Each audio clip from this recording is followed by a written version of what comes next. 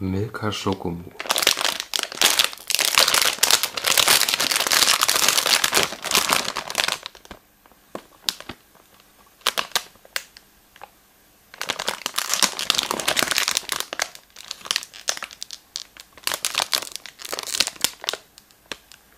Keks teilweise überzogen mit Alpenmilchschokolade. 28%